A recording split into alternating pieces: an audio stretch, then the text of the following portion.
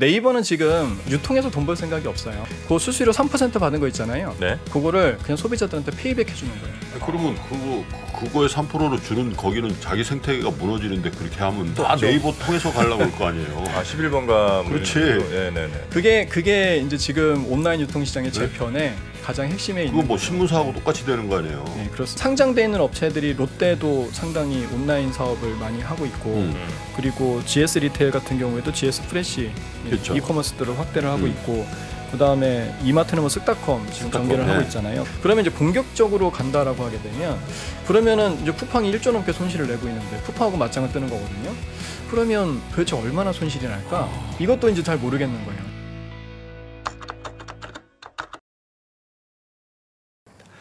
자 오늘 그리고 저희가 예고해드린 것처럼 우리 화장품 또 네. 유통 이쪽으로는 뭐 네. 일인자 우리 여의도 박종대 연구원님 모시고 아, 하나하나 또 여쭤보도록 하겠습니다. 네. 자 우리 박종대 연구원님 어서 오십시오. 네, 안녕하세요. 네 반갑습니다.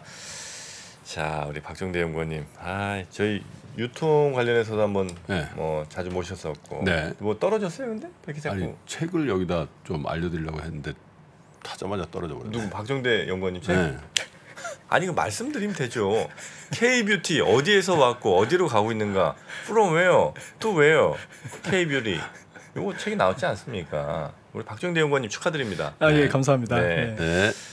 네, 여러분 책 팔러 온 거 아닙니다. 어차피 안 사실 거잖아요, 여러분. K 그 뷰티. 이 책이 이 책이 완전히 그 소비자가 협소한 책이야. 여러분 어차피 상관없잖아요. K 뷰티 어디에서 업계 업계에서 보라는 책이. 그렇죠, 그렇죠. 예, 어디서 왔고 어디로 가고 있는가. 자, 우리 박종대 연구원님 오늘은 어떻게 저 어, 어느 쪽으로 좀 얘기를 많이 해주십니까? 유통 쪽입니까? 이거 유통도 있고요, 화장품도 네. 아, 있고요. 화장품도 예, 있고요. 사실 그 주식 시장에서 유통 화장품 업체들 주가는 재미없습니다만은 음. 굉장히 다이나믹한 그 음. 업종이거든요. 네. 뭐 쿠팡부터 시작해가지고서 최근 상장을 준비하고 있는 이제 올리브영까지 음. 네, 그렇게 시간 되는 대로 그냥 말씀을 드리도록 야, 하겠습니다. 쿠팡이요. 이 미국 투자자들이 아주 그냥 한국 쿠팡에 아주 된소리를 만들어 보면 지금 어, 얼마까지 떨어졌죠? 한번 니네 한번 당해볼래? 이 거의 예? 어. 뭐 4분의 1 토마? 네, 예. 아, 그래요. 예. 예. 공모가 대비 네. 아, 실적이 안 좋아요. 어, 그렇죠. 이게 이제 극과 극을 달리고 있는데 예. 거래액은 뭐 지금 어마어마합니다. 네. 작년에 거의 시장 점유율 20% 포인트까지 올라왔으니까 네. 제가 이제 뭐 아마존도 이제 보고 있습니다만은 아마존이 미국에서 절대적인 시장 점유율 가져가고 있잖아요. 거의 그렇죠. 40% 정도 되고 2위 업체가 월마트인데 음. 한 6%밖에 안 됩니다. 음. 그러니까 뭐 어마어마한 갭으로 지금 아마존이 절대적인 우위에 있는데 근데 아마존도 이때까지 시장 점유율이 5% 포인트 이상 상승한 적은 없어요. 1년에. 네. 예. 어. 근데 지금 쿠팡은 작년에 6% 포인트가 시장 점유율, 점유율이? 예, 시장 점유율이 올라왔으니까 네.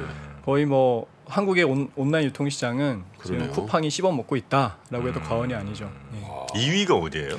2위는 이제 네이버입니다. 그 그래프를 아, 보시게 되면 작년에 보여주세요. 작년에 되게 재밌는 숫자가 있는데 그림 1번이죠. 네. 그림 1번.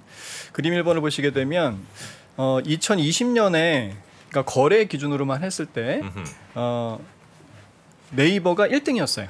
거래액 기준. 예, 28조 원. 네. 그리고 쿠팡이 이제 22조 원. 음. 물론 이제 매출은 쿠팡이 1등이죠. 음. 직매입 체제이기 때문에. 근데 작년에는 엎었어요. 쿠팡이 38조 원까지 거래액이 올라갔고 어. 네이버는 32조 야, 원에 그쳤습니다. 성장률은 엄청나네요. 예, 성장률 엄청나죠.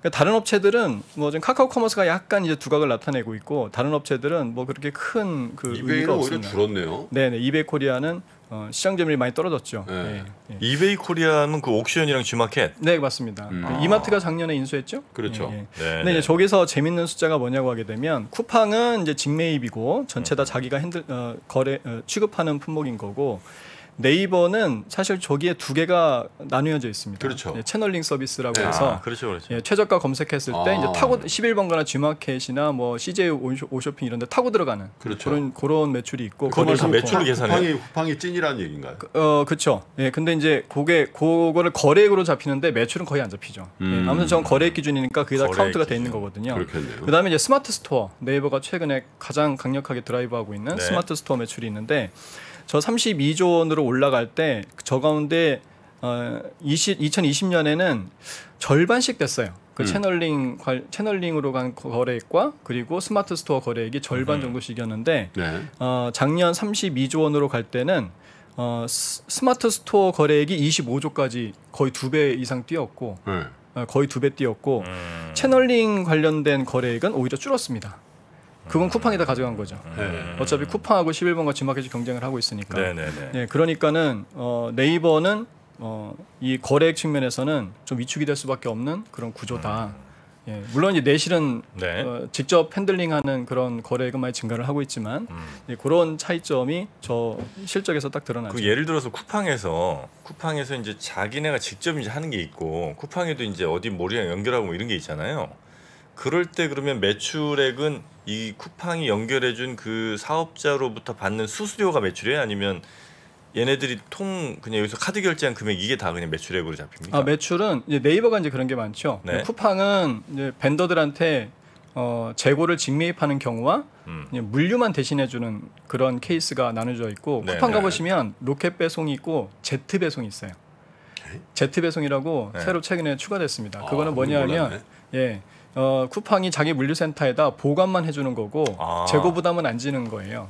예, 그건 이제 수수료만 받는 거죠. 결제는 쿠팡에서 하고요. 그렇죠. 그래서 쿠팡이 쿠팡에서 하고 네. 대신에 음. 매출에 매출을 예를 들어 100원 했다라고 하게 되면 100원 다 잡지 않고 이제 수수료만 매출로 음, 잡는 거죠. 직매입. 직매입한 거는 뭐 다 매출로 잡고요. 음, 음, 음. 근데 네이버는 이제 채널링 서비스를 채널링으로 해서 뭐 예를 들어서 네이버를 통해서 11번가 G마켓에 들어갔다라고 들어가서 쇼핑을 했다라고 하게 되면 네. 그 11번가나 G마켓으로부터 네이버가 수수료를 받아요. 한 3% 정도 받아요. 음. 3%. 어, 3에서 5% 정도 이렇게 받는데 예, 그것만 이제 매출로 잡히게 되는 거죠. 그런데 네, 이제 네, 재밌는 거는 뭐냐고 하게 되면 어, 네, 뭔가 청소기 같은 거를 음. 이제 네이버에서 가격표 해가지고서는 어, 뭐 한 20만 원에 싸게 판다고 하길래, 하길래 네. 채널링으로 들어갔어요. 음. 어, 그래서 이제 20만 근데 내가 11번가 뭐 회원이니까 음. 조금 더 싸게 살 수 있지 않을까 해서 11번가로 다이렉트로 해서 들어가서 물건을 그 검색하게 되면 그 가격이 안 나와요. 네이버 통에 들어간 11번가랑 내가 직접 들어간 11번가랑 가격이 다른데 달라요. 오히려 네이버 네이버가 더 싸다고요? 네이버 더 싸요.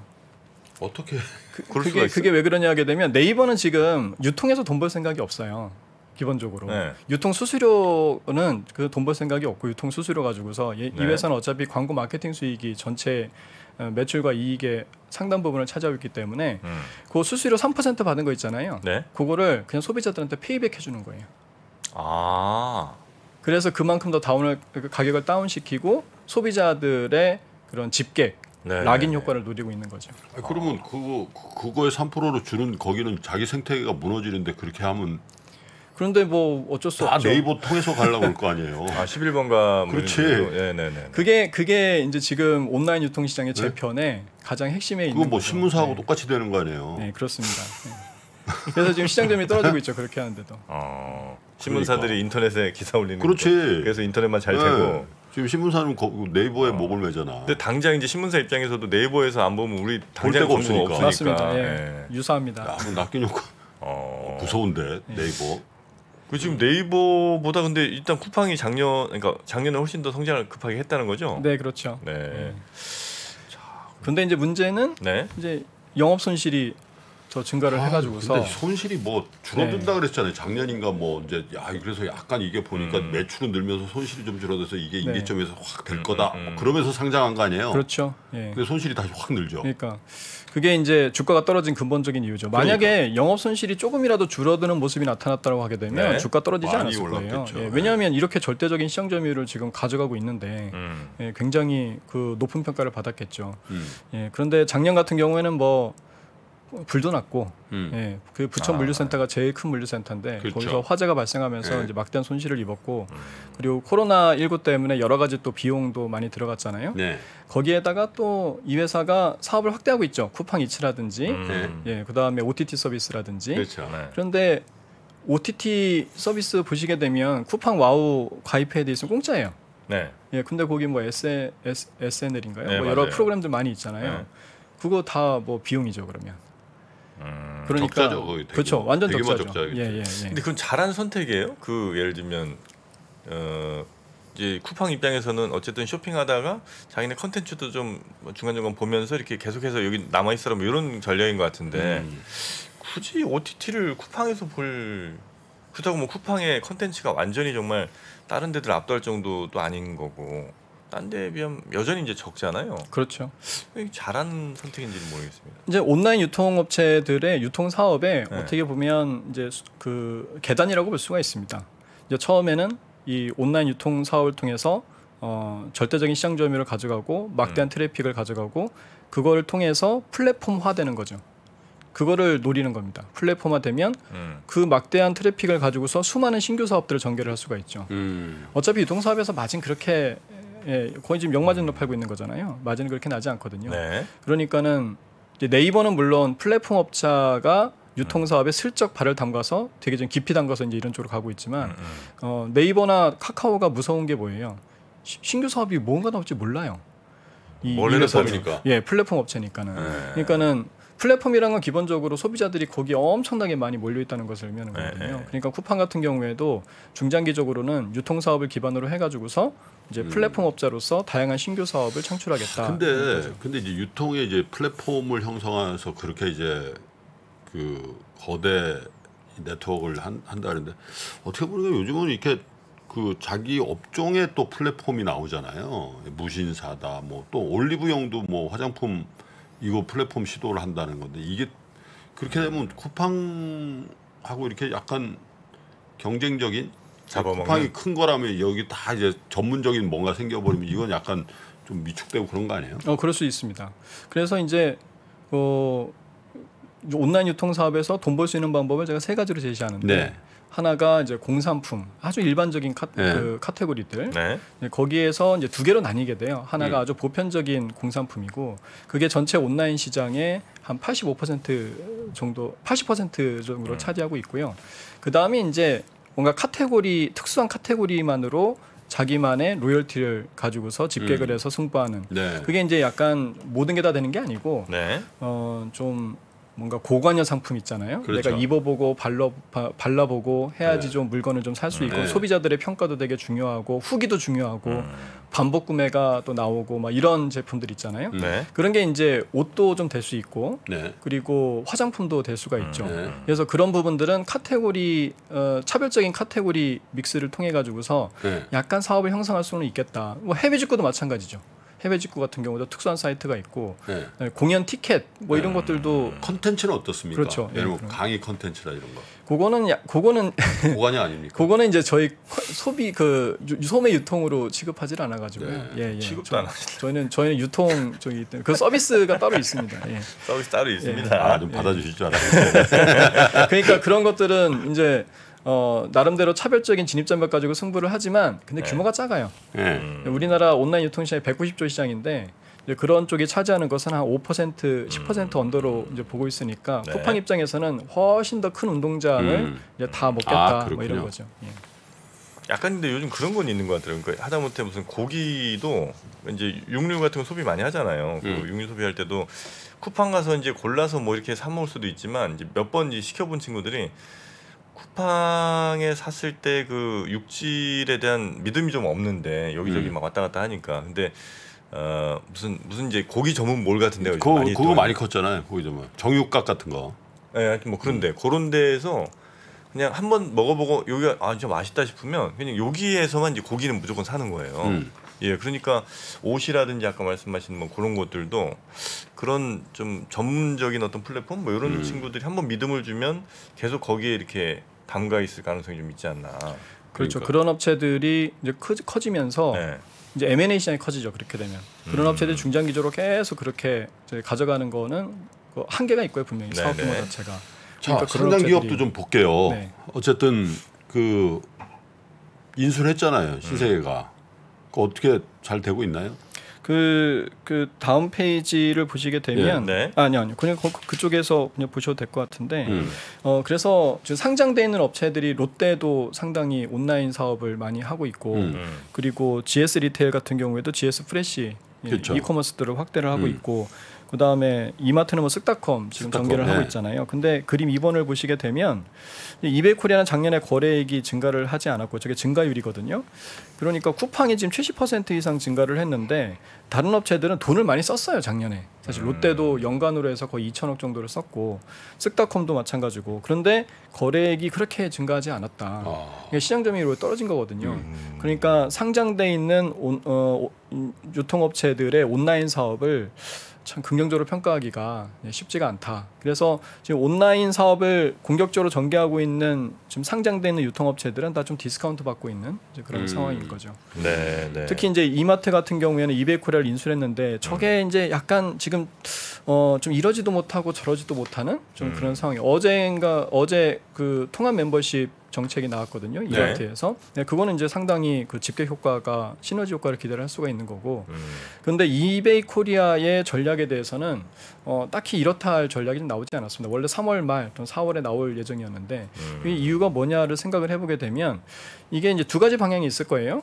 굉장히 공격적으로 어, 전개를 할 수가 있고 네. 또는 실속 있게 전개를 할 수가 있죠. 음. 그러니까 영업이익을 천억 정도 내면서 우리가 무리하게 그렇게 전개하지 않겠다. 음. 예, 그렇게 갈 수도 있는 건데 이렇게 되면 음. 어, 성장률이 나오질 않겠죠.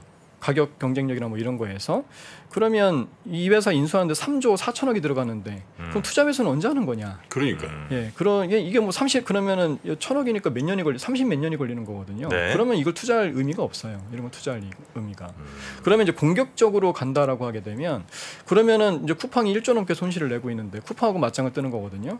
그러면 도대체 얼마나 손실이 날까? 이것도 이제 잘 모르겠는 거예요. 이게 저는 이제 종부 종부세 고지서라고 비유를 하는데 부동산 가격이 막 올라갈 때는 종부세 뭐, 뭐 내고 말지 뭐 하면서 이제 좀 해피해피하고 하지만 막상 받아 막상 이제 고지서 딱 받아서 내가 작년에 내지 않던 3천만 원, 4천만 원을 내라고 이러면 약간 뜨끔한단 말이죠.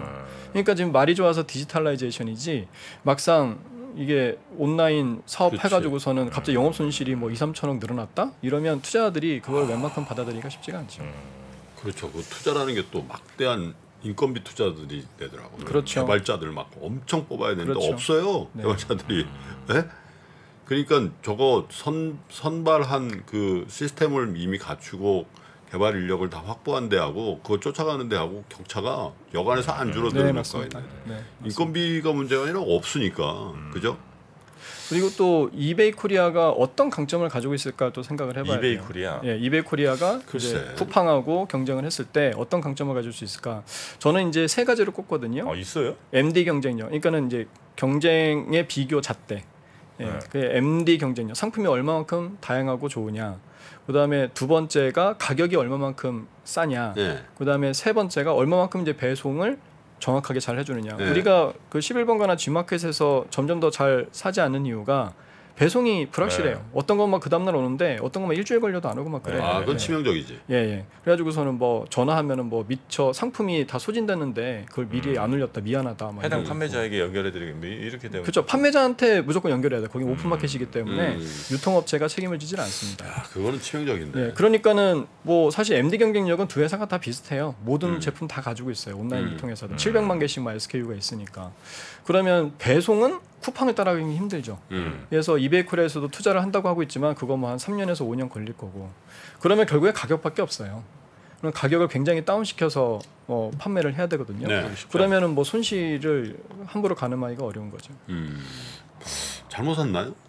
음, 저는 사실 직설적으로 여쭤볼게요. 예, 저는 이마트가 어, 월마트를 따라가고 있었어요. 네. 한국의 월마트. 그래서 네. 식품 온라인이라는 차별적인 그런 카테고리 내에서 예. 이 회사는 뭐 대형마트가 10조짜리 대형마트가 있으니까 온오프라인의 시너지를 내면서 쭉 가는 이제 이런 사업을 하- 저도 이제 그걸 굉장히 긍정적으로 평가했고 예. 월마트가 제트닷컴 인수한 다음에는 사실 실패했거든요. 예. 그런데 어, 식품 온라인 시장에서는 아마존을 꺾고 그러니까. 1등을 했어요. 그래서 이제 10조가 주가가 이제 굉장히 좋았거든요. 예.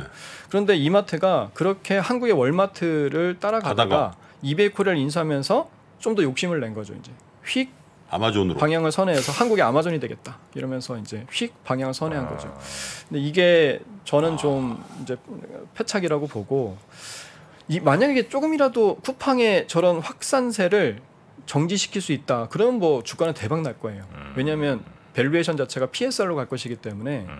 지금 이베 어, 이마트의 PBR이 0.3배 정도밖에 안 되거든요. 네. 그럼 뭐 주가 3배 갈 수도 있어요. 만약에 쿠팡을 약간 저지하는 모습이 보인다라고 하게 되면. 음. 그런데 그 가능성이 그렇게 높지는 않아 보인다. 음. 그러면 그 신선식품 쪽에 컬리는 어떻습니까? 컬리는 어, 그 다음 페이지 이제 보시게 되면 신선 네. 식품 온라인 업체들인데 거기도 뭐 상장을 한다고. 예, 그렇죠. 그다음에 그림 3번을 좀 보실까요? 네. 예, 그림 3번. 음. 그림 3번 주세요. 네. 1번이네요. 그림이. 예, 네. 그림 3번을 3번. 보시게 되면 네, 온라인 시장의 업체별 성장률 비교네요. 2021년에 식품 온라인. 예. 네. 그걸 보시게 되면 식품 온라인 시장이 첫 번째 문제가 뭐냐면 식품 온라인 시장이 그렇게 성장률이 높지가 않다. 이게 음. 문제예요. 아 시장 자체가 예, 그러니까는 지금 우리나라 온라인 유통 시장의 침투율 전체 소매 판매 시장에서 온라인 유통이 차지하는 게 한 46% 정도 되거든요. 근데 식품은 26%밖에 안 돼요. 음. 침투율이 어. 전체 식품 시장에서 온라인이 차지하는 비중이 아, 26% 그러면은 갭이 되게 크잖아요. 음. 그럼 전체 온라인 성장률보다 식품 온라인 성장률이 훨씬 높아야 돼요. 그걸 기대하고 이제 이마트, 쓱닷컴을 투자하고 막 이렇게 된 거죠. 이 온라인 유통 시장의 마지막 남은 불모지다. 음. 뭐 이래 가지고서 그런데 몇 년 지났는데 어, 오- 작년 같은 경우에 전체 온라인 유통 시장이 한 21% 성장했거든요. 네. 네. 근데 식품 온라인 27%밖에 성장 못 했어요. 음. 그게 그거네. 그게 그거예요. 예. 그, 아니 그럼 애시당 초 이게 이제 안 가본 시장이라서 전 세계에서 우리나라가 제일 앞서 있거든요. 네. 아 식품 예, 온라인이요? 예, 예. 오. 우리나라가 온라인 침투율이 뭐 전 세계 3위 되고 막 이러니까. 아. 그러니까 제일 앞서 있는 시장이기 때문에 뭐 설례가 없어요. 그러니까 우리가 내딛는 발자국이 새로운 세계거든요. 네. 그런데 아 그러면 식품은 애시당초 그렇게 아닌가 봐.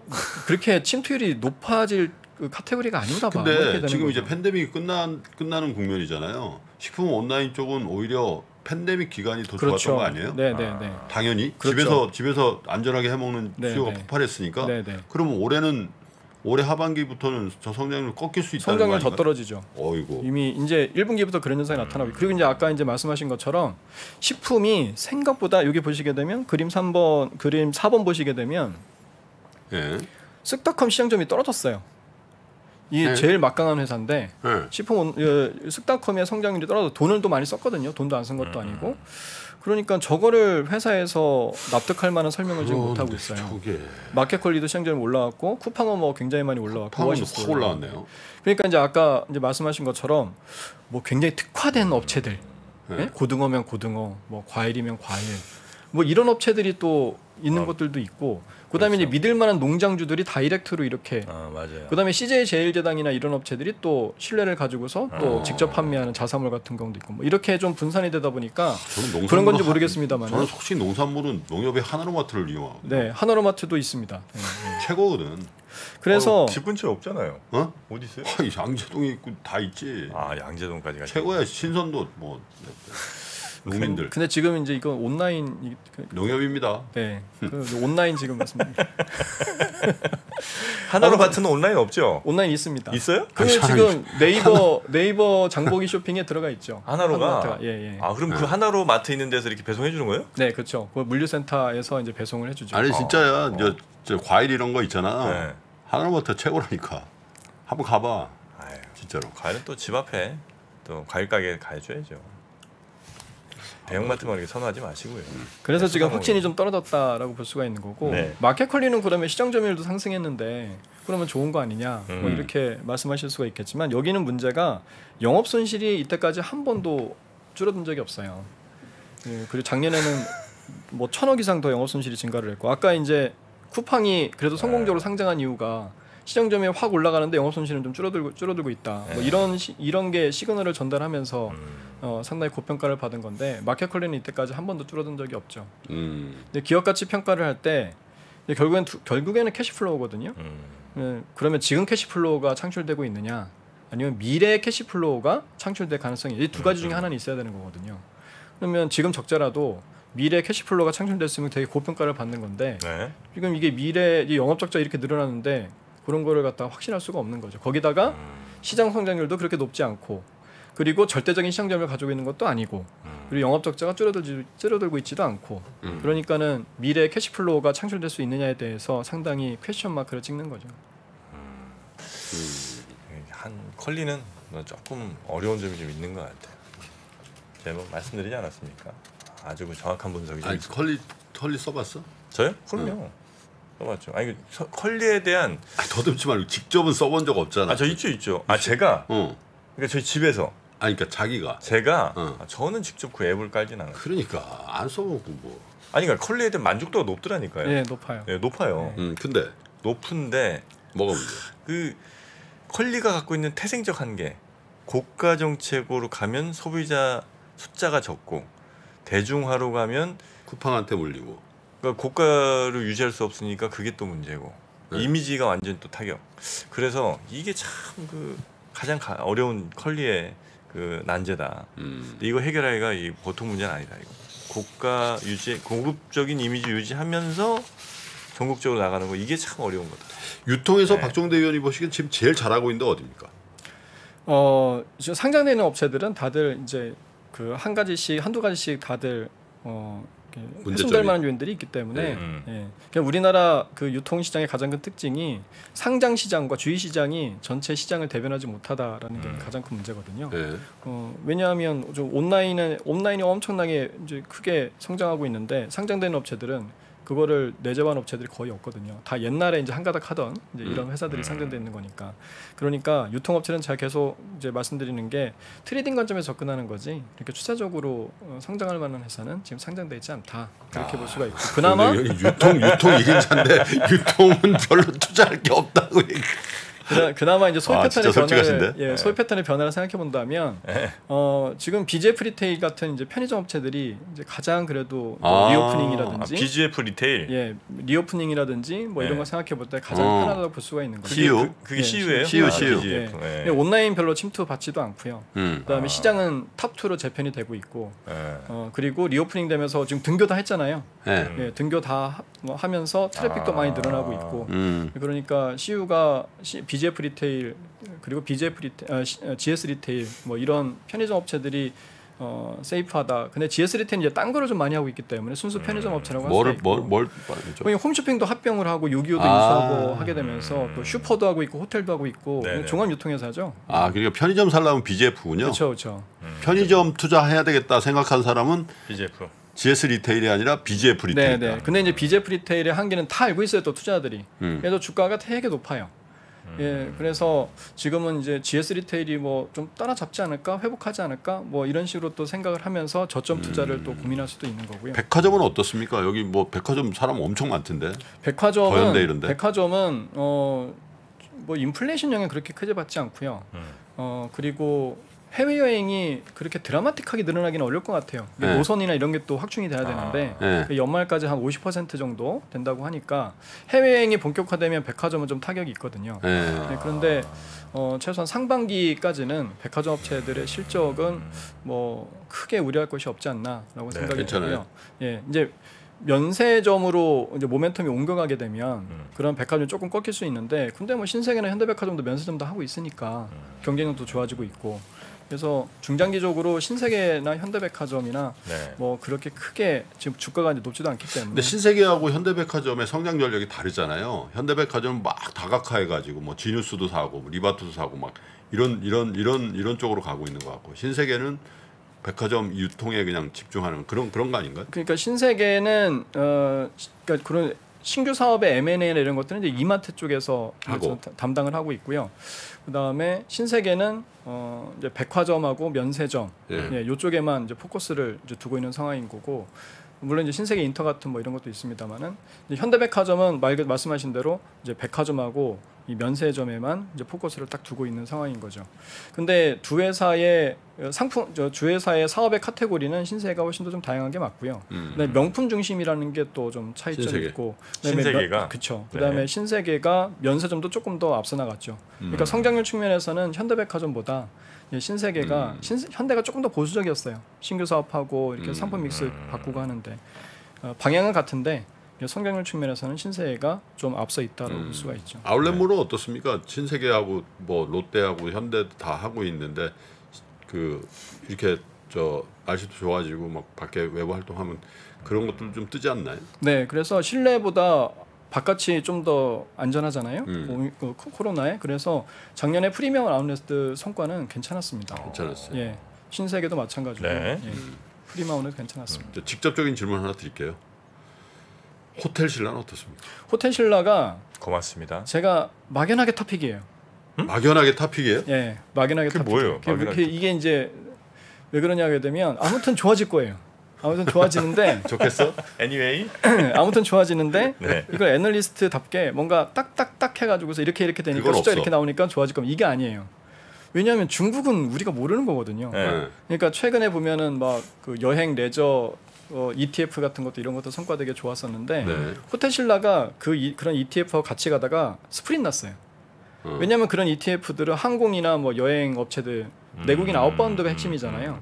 음, 근데 호텔 신라는 중국인이 핵심이에요. 네. 음. 실적에서 면세점이니까. 네. 근데 중국은 지금 허접되고 있잖아요. 네. 그다음에 이게 뭐 어차피 정치적인 이슈가 걸려 있기 때문에 어디로 갈지 몰라요. 그러네. 그래서 어 좋은데 예, 좋은데 근데 중국이 저렇게 어, 그 허우적되면은 호텔 신라 실적 전망이 굉장히 불확실하죠. 근데 음. 이제 아무튼 리오프닝은 되고 있고 음. 중국도 하반기에는 좀 막연하게 좋아지지 않을까. 뭐 그런 측면에서 호텔 신라를 조금씩 조정받을 때 좀 사자. 뭐 이런 이런 거죠. 예, 그래도 변화에 가장 변화하는 그런 사업이니까. 거봐 박종대 의원이 네. 조금씩 사자잖아. 아니 그 이미 물려 있다면? 아니 그러면 가만히 놔두셔도 됩니다. 아, 아, 예, 뭐 어차피 뭐 크게 자산에 많은 훼손이 뭐 나타날 위험이 아니라 어제 아모레퍼스픽 같은 경우도 그렇잖아요. 네. 주가 9% 올랐는데 거의 중국이 계속 허우적되면 거기도 안 돼요. 음. 그런데 모든 게 다 갖춰져 놨어요 이제 사업 구조 개선 이런 것도 음. 다 세팅해 놨어요. 중국 매크로만 좋아지면은 음. 매크로만 부- 브랜드 불확실성도 해소됐고 실적을 통해서 음. 사업 구조 오프라인 뭐 온라인 그다음에 럭셔리 중저가 이런 사업 구조가 다 끝났어요 개선이. 음. 그래서 macro만 좋아지면 이제 실적이 어마어마하게 좋아질 것이다. 음흠. 이제 음. 그런 기대감으로 주가가 어제 이제 9% 오르고 네. 있는 거죠. 오늘은 유통만 하죠. 뭐 네. 화장품까지 건들기에는 시간이 좀 애매해서 그좀 화장품이 또 재밌는 게 네, 많이 다음. 달에 아, 왜냐면 네. K beauty 우리 순서를 잘못했구만. K beauty 했는데 아. 유통을 했네. 그러면 다음 네, 시간에는 다음- 예. 뷰티 네, 그 네. 네, 네, 네. 아모레퍼시픽하고 LG LG 생건에 대한 얘기도 많이 해야 돼요. 네, 네, 그렇죠? 네. 올리브영도 하시죠. 있고요. 네, 알겠습니다. 그럼 우리 박종대 위원님은 여기서 네. 오늘 K 뷰티 보내드리고 어디서 왔고 어디로 가는가? 네, 그 책은 혹시 화장품 관련해서 어, 일하시거나 아니면 정말 이쪽에 관심이 있는 혹은 뭐 이체, 투자자들. 이, 쪽에 이제 투자하신 분들은 한번 읽어보시면 정말 도움이 많이 되실 그런 책입니다. K 뷰티 어디서 왔고 어디로 가고 있는가 우리 박종대 위원님의 책이고요. 박종대 위원님 다음 시간에 뵙겠습니다. 너무 네. 고맙습니다. 네, 감사합니다. 감사합니다.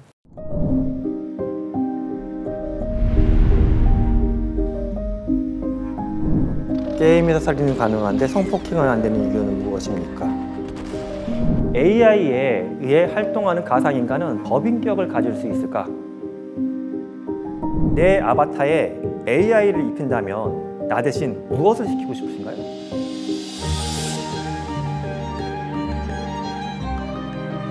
질문 자체를 만드는 걸 질문으로 드리고 싶었어요.